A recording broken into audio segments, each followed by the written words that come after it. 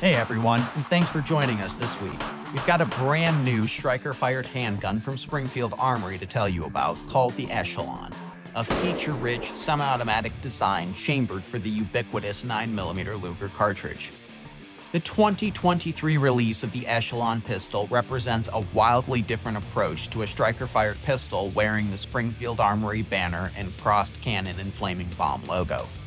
While some familiar features are gone, those that it has provide a level of performance not previously seen in the company's portfolio.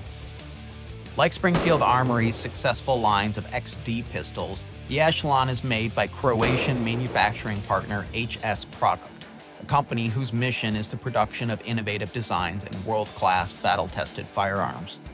Previous pistols in this Springfield line have long been serving and protecting armed citizens in the United States, and some have been the recipients of prestigious awards such as NRA's Golden Bullseyes. The Echelon is a full size gun that has a modular, self contained fire control chassis that is removable for cleaning and maintenance. Springfield calls this serialized component the Central Operating Group, and it houses the trigger with its blade and bow style safety, a secondary sear to prevent accidental discharge if the gun were to be dropped, and a bilateral slide lock. Like its predecessors, the Hellcat and Hellcat Pro, the Echelon has no grip safety. More ambidextrous design comes in the form of a bilateral magazine release and thumb shelves for the support hand which is a boon to tactical employment of the gun for both left and right handed operators. Also, you'll find wide cut cocking serrations fore and aft and ears front and rear to aid in slide manipulation.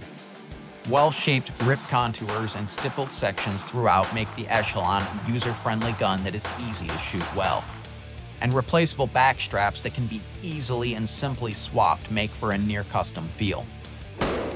At 23.9 ounces with an empty 17 round flush fit magazine, the gun measures just under 7.5 inches long and houses a 4.5 inch hammer forged steel barrel, which in our initial testing has proven itself to be both reliable and accurate. The Echelon comes with a dovetailed tactical rack U dot rear and tritium dot front sight system for putting rounds on target, even in poor light, we found the ball and basket sight picture fast to acquire, yet precise enough for accurate long range shooting. Taking the Echelon up a notch is its innovative optic mounting system called the Variable Interface System. It features a series of pins that act as feet or lugs to secure many of today's most popular red dot optics directly to the slide, mounted as low as possible while maintaining the use of the gun's iron sights. The Echelon surely shines on paper, but how does it handle on the range?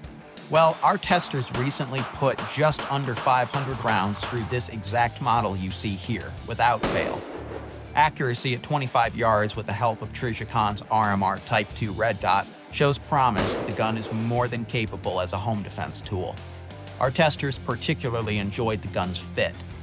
Although the M1911 aficionado may find the grip angle steep, it nevertheless affords a high grip, and the added stippled support pads on both its left and right side and undercut trigger guard work in harmony to help the shooter maintain control. In addition, field stripping the gun is simple and does not require a trigger pull to separate the slide. Striker fired pistols are nothing new from Springfield. In fact, our staff has had extensive use over the last decade with polymer frame striker fired pistols such as the XD, XDM, and XDS series guns. And the Echelon marks a new generation from Springfield we hope will see line extensions. Expect more testing down the road. For more information on the 9mm Echelon pistol, visit springfield-armory.com and keep your browser tuned to AmericanRifleman.org for more on guns and gear.